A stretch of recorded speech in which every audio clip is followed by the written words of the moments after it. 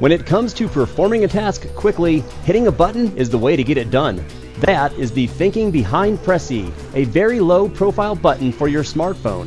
Pressy is a button plugin for your smartphone's headphone jack. It does what you would expect a button to do, perform a task instantly when pressed, only Pressy can be programmed for more than that.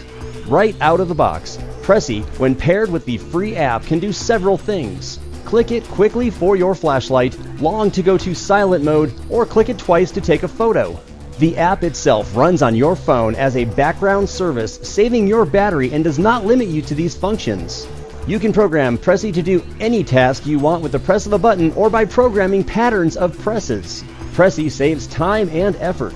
There's no need to activate your phone, find an app, and then do a task. Just hit the button. Pressy will be out early next year, and you can grab one early by supporting their Kickstarter campaign for just 17 bucks.